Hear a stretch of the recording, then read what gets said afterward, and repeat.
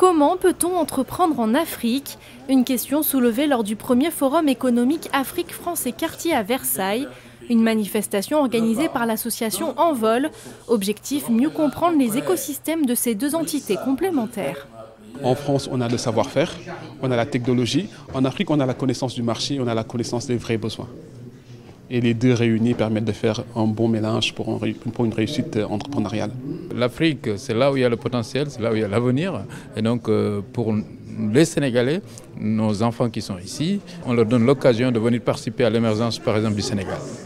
Politiques, investisseurs ou encore chefs d'entreprise, ils étaient au total 350 réunis au domaine de Madame Elisabeth.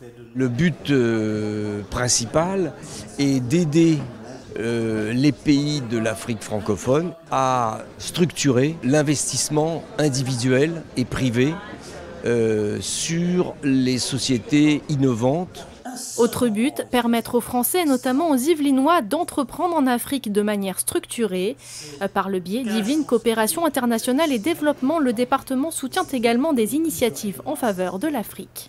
Les Yvelines sont un département qui accueille une importante diaspora africaine et qui a noué des relations très euh, suivies, très importantes avec ce continent africain, justement dans cette volonté, en s'appuyant sur les diasporas euh, yvelinoises, de participer au développement d'un continent qui en a Cette première édition va également permettre la mise en place d'une plateforme d'accompagnement des entreprises.